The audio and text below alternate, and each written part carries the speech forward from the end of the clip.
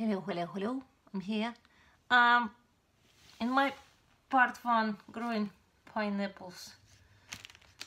I was so excited at first, and um, you know what?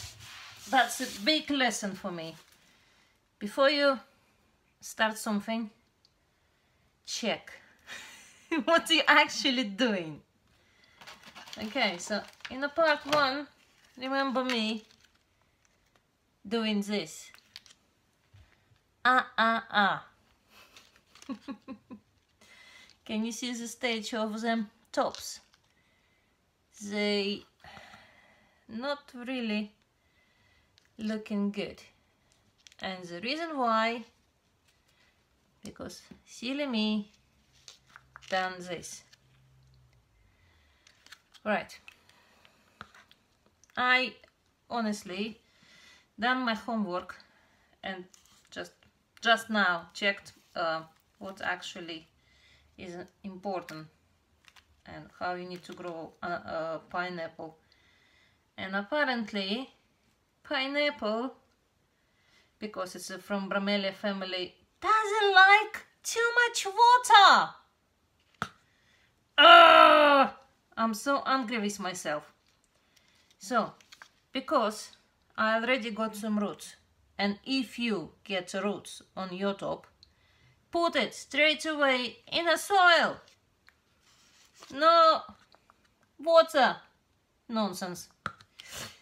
Right. So the soil you need very very very well drained soil. Which means grit I mean garden uh, grit or uh, sand will do very well. If you can get your hands on uh, cactus uh, soil you just uh, mix it one to one with uh, potting compost. That will do the trick. Right. So I keep my fingers everything I can cross.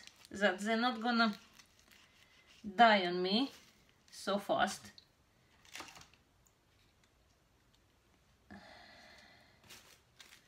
And um, what I'm doing now just simply put them in the soil. Poor thing I'm so sorry! I'm so sorry. Oh dear. I learn everything every day. Sorry you learn something. Every day.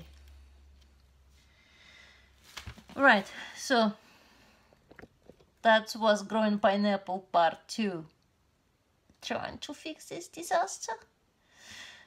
Right thank you for watching and hope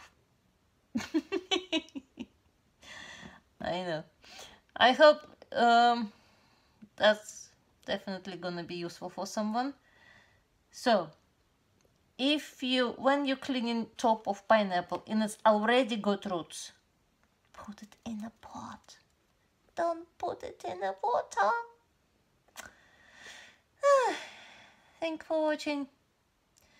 I hope I'm gonna have part three. See you. Bye